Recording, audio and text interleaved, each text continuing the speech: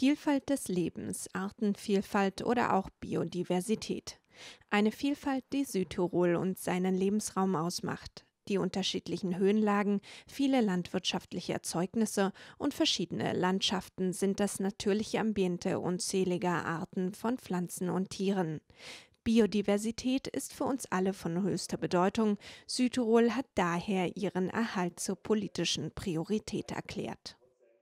Die Artenvielfalt betrifft uns alle, sie ist die Grundlage jeden Lebens. Der Mensch ist äh, äh, nur ein Teil der Natur, uns gehört die Welt nicht, wir sind ein Teil davon und deshalb ist es unsere Aufgabe, äh, die Grundlagen dafür zu schaffen, dass die Artenvielfalt erhalten bleibt. Das ist das Etschtal heute. Und so wäre es wohl ohne die Präsenz der Menschen. Der Schutz der Artenvielfalt eines Territoriums hat nicht nur einen ökologischen Wert, er ist auch die Grundlage für wirtschaftliches und soziales Wohlergehen.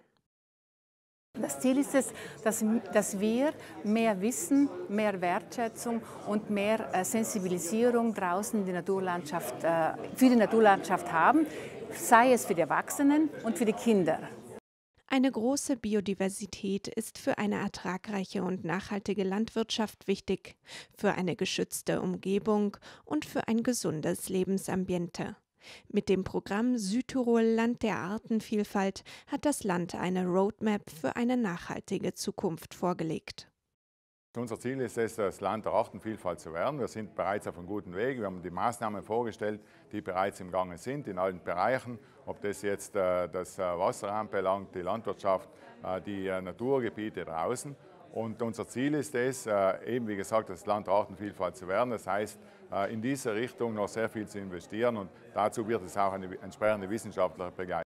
Regulierung der Wasserläufe und Flusssanierungen, Schutz der Wälder Schutzgebiete für Biodiversität, Erholungsgebiete für Fauna und Flora, Unterstützung für Projekte zum Umweltschutz.